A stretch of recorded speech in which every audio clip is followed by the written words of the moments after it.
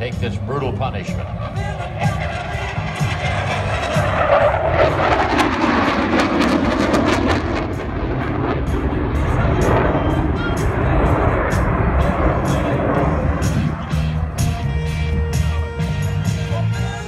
Now setting up for his landing.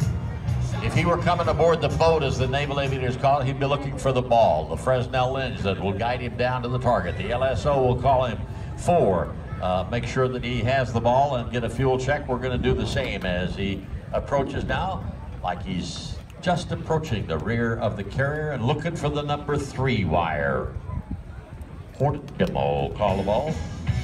Hornet 1-1 has the ball 4.0. Roger, roger. Okay. LSO cleared him to land, gave us the fuel state. Always good. Now watch as he hits the runway. We're going to assume that the cable breaks. He does trap the number three wire, but let's assume the cable breaks because he's going to do exactly what he would do coming aboard the boat, and that's go to full throttle just in case this happens. So we're simulating a cable break here.